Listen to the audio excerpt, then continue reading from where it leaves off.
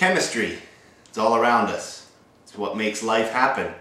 Life goes on, chemistry happens. Here we have electroplating. We can take a nickel and plate it with copper. Start with a piece of scrap copper wire. Vinegar solution, it's turning blue because of the copper ions, and we put the nickel in it.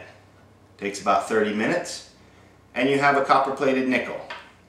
So how does all this work? We have the battery, we have copper wire, we have copper ions in the solution, and we get copper metal plated to the nickel. Here's how it works. Electroplating with copper takes several things. Vinegar, that's our solution. We add salt to make it conduct electricity in the jar. We have energy in the form of a D-cell battery.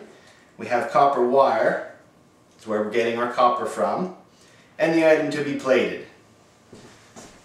We start out with, we have to get the copper solution going. We have the copper wire connected to the positive side of the battery, the negative side of the battery connected to our item to be plated.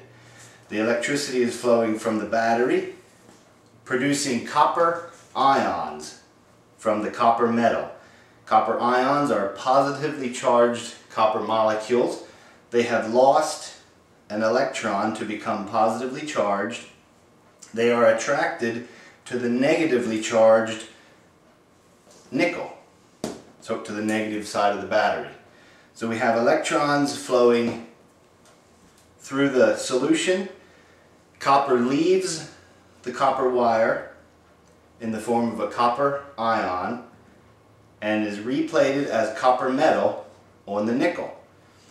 So here they are, an unplated nickel on the left and the plated nickel on the right.